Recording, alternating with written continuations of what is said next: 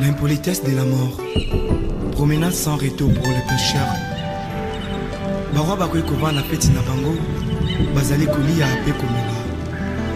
liwa ekoti ezwi moko eke na ye mpe ezongisi ye te o liwa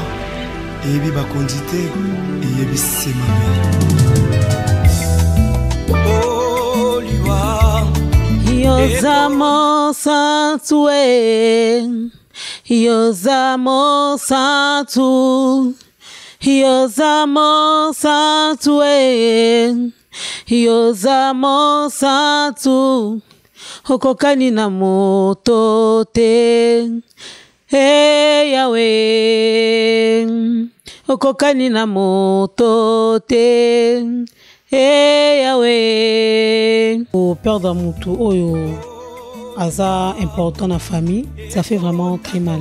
la référence na famille set mobimba bauti koperdre journaliste na bango moko na nkombo ya Nadine Laing. La société civile congolaise estime que le 11 point de cet accord comporte des zones d'ombre ou encore de non-dits. Cette structure de défense des citoyens ordinaires recommande pour ce faire la tenue urgente du Forum national en vue de mettre fin aux crises multiformes qui déstabilisent la RDC. Marie-Jeanne Bibomba et Baby Malobo.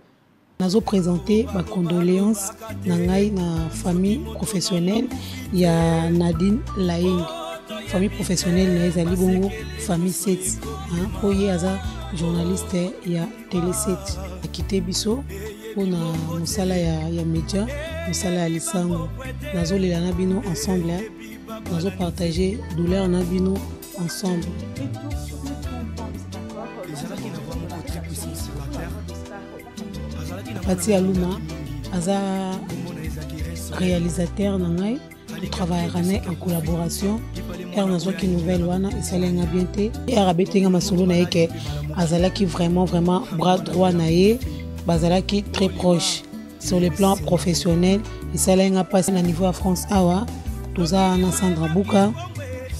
oyo aza mpe chroniqueuse lokola ngai tozokabolamaka vraiment na bino famille biologique mpe ya nadine laing na présente bino mpe lisusu na condoléance kozanga mwana kozanga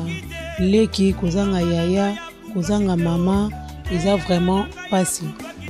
na kati ya famille biki naza na eloko te nakokende epai ya nadine nakokende epai mwana na nga nadine nakobenga niese na nga nakobenga mama leki na nga nakobenga mama kulutu na nga donc ça fait mal et surtout vraiment na bana vraiment courage bana oyo atiki courage vraiment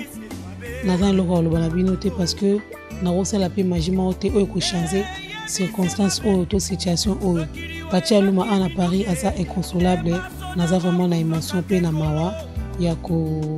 kokabola yango na bino donc courage na famille set mobimba je vous dis vraiment ba, ba courage merci à vous pour votre fidélité à télé 7